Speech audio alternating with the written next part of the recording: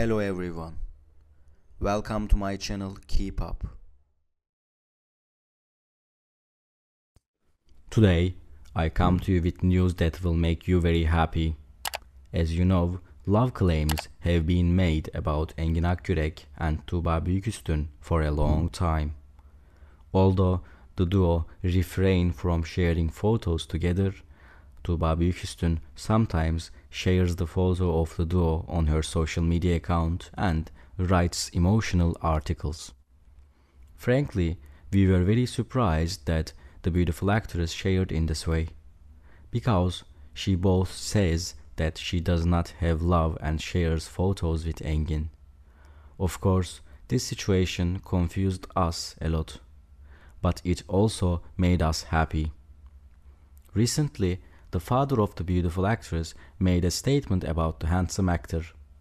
He said he loved Engin like his own son. Allegedly, Tuba Büyüküstün's father could not get along with her lovers and her ex-husband at all because she was very jealous of her daughter. But because she admired Engin, she was not jealous and wanted them to have a relationship with her daughter.